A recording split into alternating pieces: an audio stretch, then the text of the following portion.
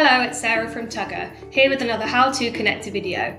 Today we're looking at how to connect Harvest Forecast with Power BI, so let's run through it.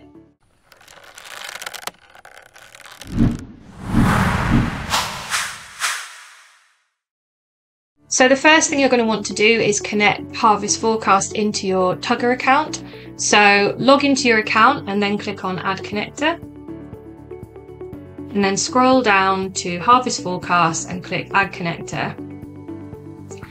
Uh, in this screen, you can label it whatever you'd like to. So I'm just going to call mine Harvest Forecast and then click Authorize Access to Harvest Forecast and Authorize Application. So for this video, we're connecting to Power BI. So I'm going to select Power BI. And then on this screen, we have all of the information we're going to need to get these two things connected. So open Power BI and click Get Data, and we're looking for OData feed. It's then asking us for a URL. So if you click back to this page, you'll see the URL down here. You just and paste it in there. And then we need to click down to basic and you've got to enter a username and password. So you go back to this screen and click next. And as you can see, your username and passwords are here.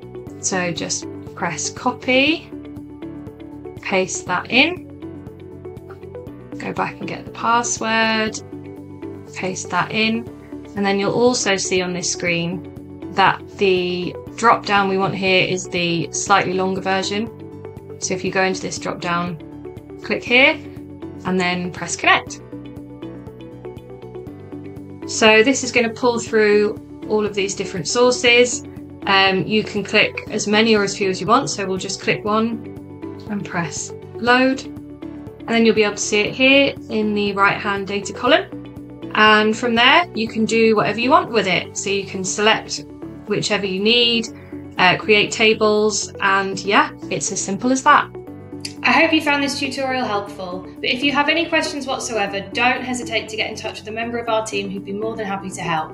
You can also click the link in the description for a completely free trial of Tugger. Don't forget to like and subscribe to our channel, and we'll see you again soon.